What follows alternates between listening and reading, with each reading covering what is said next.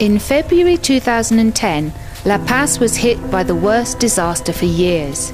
A mega landslide caused serious damage to more than 1,700 homes. A total of 6,000 families were affected, including older people. Rigun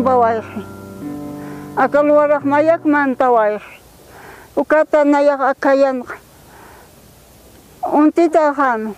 Uka piantatahan ukatnayah surchachiwaitnaya akaqcha akalwaraq mantarchini ampiyta tawsayat ukatawnayaruq marisulaq apaqa wayqit aynachar apaqa wayqit hichaq ainchan haniraki walt askarat ukatchaqnayaq akan makataniway thayarak yuqar usun thayat ainchanya Estaba afectada yo con mi cuarto vacío, he llegado recto a alojarme, entonces yo ya estaba deshecha, ya no sabía qué hacer. Tengo hijos, seis hijos yo tengo, señorita, pero resulta que todos tienen su hogar, su familia, se olvidan de uno. Entonces en ese momento no había nadie, señorita, que me diga, aquí vete, vaya, alojate, nadie. La alcaldía ha venido a rescatar todas las cosas, a fin de que no se pierdan todo. Han trasladado, la alcaldía nomás es lo que ha caminado bastante con nosotros. Older people are particularly vulnerable in emergency situations. As people get older, they experience a reduction in mobility and sensory capacities such as sight and hearing. This can place them at a major disadvantage when it comes to coping with a disaster. But despite their vulnerabilities, older people have knowledge and skills they can contribute to the development of disaster preparedness strategies and emergency response plans.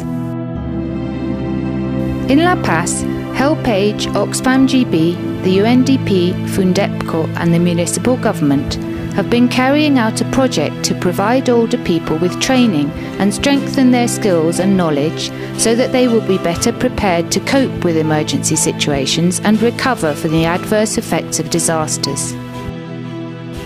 This involves organising groups of older people called the White Brigades. Después del deslizamiento de Callapa, nos dimos cuenta de las debilidades, flaquezas que tenemos como gobierno municipal de La Paz y pudimos percatarnos que las poblaciones más vulnerables en estas situaciones son los niños y los adultos mayores.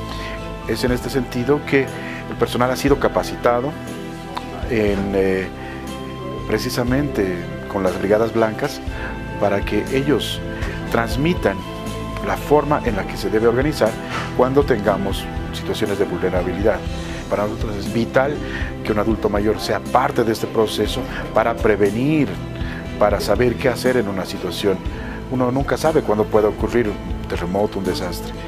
Las brigadas blancas, eh, nuestros adultos mayores, no son entes aislados, definitivamente. Ellos tienen que articularse con el COE barrial. Esto es una organización de la comunidad, es una organización de las instituciones que brindan apoyo. Toda la comunidad se moviliza cuando hay una situación de emergencia, pero los adultos mayores tienen la cualidad de que nos dan su tiempo para capacitarse ellos ya están involucrados en el tema. El proyecto Brigadas Blancas para el Gobierno Autónomo Municipal de La Paz ha sido y es uno de los proyectos claves en, la prevención del riesgo. Es una nueva cultura de prevención, algo que no teníamos. Estamos innovando. Nuestros adultos mayores son otros adultos mayores después de Brigadas Blancas. The White Brigades are given training on disaster risk prevention and emergency response. Being part of a network enables them to respond more effectively to the needs and requirements of the people affected by a disaster. En dos instancias. La primera instancia hemos sido bueno, un equipo capacitado ¿no? para saber qué es Brigadas Blancas, qué realiza, qué acciones se toma con adultos mayores. Y la segunda instancia es que nosotros ya teniendo esos conocimientos previos hemos ido a capacitar a los adultos mayores para conformar lo que es las Brigadas Blancas. Hemos aprendido desde normativas, leyes vigentes sobre gestión de riesgos, las leyes actuales vigentes en nuestro país y normativas también internacionales. Y a qué se refiere gestión de riesgo, cómo podemos prevenir, eh, qué etapas hay, eh, qué procesos de desastres hay, todo eso. Luego hemos abarcado lo que es características de la tercera edad, cómo es un adulto mayor, en el aspecto social, en el aspecto psicológico, en el aspecto económico, laboral y cómo está también nuestro país, ¿no? Si bien las normativas y el proyecto de Brigadas Blancas averiguando se da en todo el mundo, hay que contextualizarlo. Bolivia es súper diferente, tiene una multi-interculturalidad también. En primera instancia, creo que los adultos mayores se hacen importantes, ¿no? Porque por primera vez o con muy pocas veces se los toma en cuenta para este tipo de situaciones. The project has given training to about 900 older people in La Paz and managed to set up 34 White Brigade groups. Es una maravilla, en realidad nos han enseñado cómo podemos eh, en un momento, así no, no ponernos nerviosa, ni mucho menos uh, ponernos eh, estéticas, porque cuando nos asustamos nos quedamos paradas, ¿no? No, tenemos que ayudar a la gente, tenemos que ayudar a sacar a ver en algo que se puede ayudar.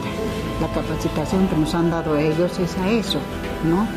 Eh, por ejemplo, cuando hay heridos, hay personas que son enfermas, que no pueden salir, comunicarnos entre todos los vecinos para poder ayudar. Hemos aprendido, por ejemplo, para hacer los primeros auxilios, eh, hemos tenido que aprender a, sacar a los heridos de, de los escombros en algunas ocasiones hemos aprendido a, darles de comer o darles también medicamentos que nos indicaban, decía, tenle esto, buen, buen, vale, hágale. Oíamos siempre decir que las de tercera edad no, no nos tomaban muy en cuenta en nada. Pero ahora con estas capacitaciones que tenemos, con estas cosas que nos enseñan aquí mismo, aprendemos que aún todavía podemos hacer estas cosas, podemos ayudar ya una u otra forma, pero sí podemos, sin asustarnos, sin ya tener, decir, ah, no, ya soy vieja y no puedo. No, podemos, aún podemos. Older people's participation and involvement in emergency response programs enables them to reduce their vulnerabilities and contribute to disaster prevention and reconstruction with their experience and knowledge. As well as being represented in decision making spaces, older people are now better prepared to cope with an emergency.